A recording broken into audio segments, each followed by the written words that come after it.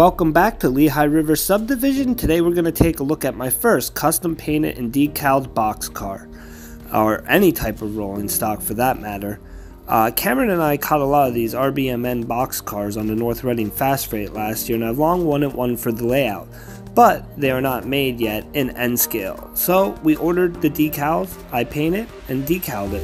So let's take a closer look at it. I didn't record any of the work as I need to pay full attention to what I was doing, um, as this was my first attempt at ever doing anything like this. So with that being said, we'll talk you through how we got from a roundhouse box car that was painted for Railbox to a Reading and Blue Mountain Northern box car. Hope you enjoy. So what you're looking at is a rail box box car um, scheme from Roundhouse. And this is what we started with. Only mm, the one I used didn't have this door because that would have been prototype to the Reading and Northern. So what I did was I looked at the pictures of box cars online and I looked for whatever in my collection fit. I needed seven ribs on each side of the door. So that's where this box car came in. This one was perfect and this is the one I used. So let's take a look through how we got from that to this. Logo for the Reading and Northern is on a piece of metal that's welded onto the ribs of the box car. So what I went ahead and did was cut out a piece of styrene on each side and super glued it on after I stripped the paint because this was a rail box um, box car. Stripped the paint the best I could. The rest of it just did not want to come off. So I think it'll be okay. We'll spray over it and see what happens. Um, but I just wanted to show what I did. Um, I ended up breaking the footsteps off the bottom during scrubbing. So what once it's done, I'll make some out of wire and we will paint them and glue them on. But I'm not too concerned about that right now. And then I'll flip it around and you can see the other side has the spot for the logo as well. So what we need to look at is um, I want to show you the decals we're going to be working with here. These are the CMR products. I ordered them. And um, there you can see the red and black logo there. That goes on that flat piece of styrene we cut. And then there's the rest of the stuff. Pretty easy car to do, I think, in my opinion. That's why this is my first attempt. So here's the box car now, uh, painted black and I went ahead with um, satin finish white paint to paint the white lines that are on the bottom of the car. So I just painted that by hand. It came out okay. If I get it to focus, and then I'll flip it. And there's the other side. So now we're ready for the decals. So that is what I'm going to work on next. Once I decal it, we'll take a look.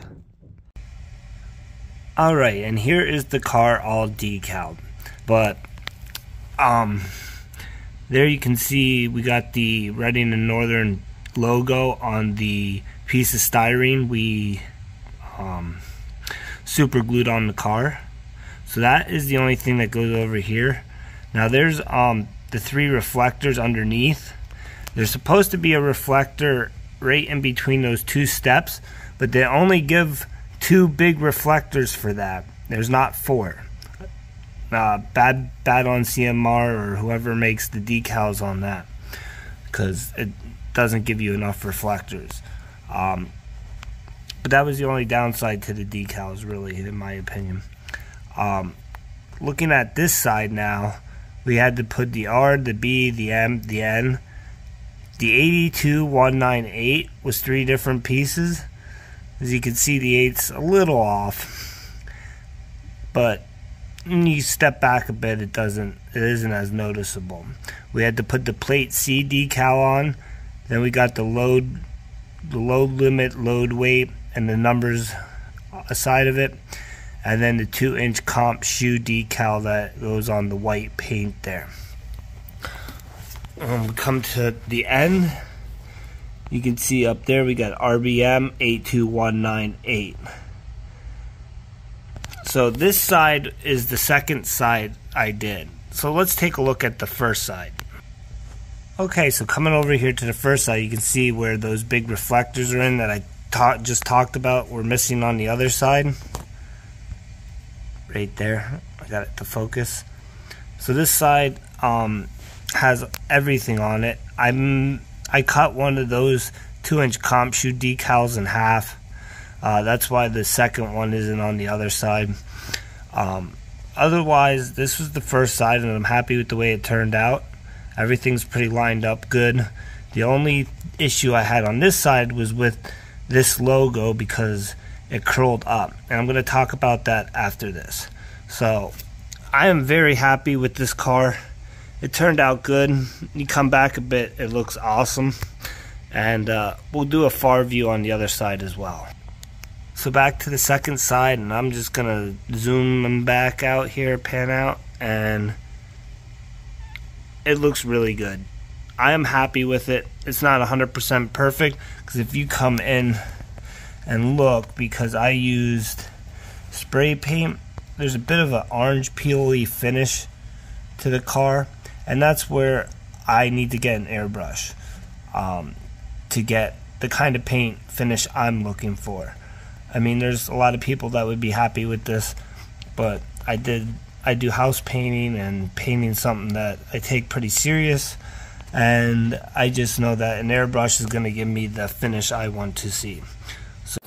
So, overall, this was a great learning experience. You're going to need microsol, microset, uh, a tweezers, a sharp hobby knife is what I used the, with the tweezers to get the decal off the backing. Um, I would suggest getting a uh, spring-loaded tweezers. I'm going to look into one myself. I didn't have it, but it would have made the job a lot easier for holding the decals when you dip them in the water. Um, do not dip your decals and let them float. I had one of the decals come off and it made a big job out of something that shouldn't have been. But I was able to salvage it and fix it. So those are some of the things I learned and I had a lot of help along the way. I'm going to leave links in the description for the channels that helped me out in doing this project.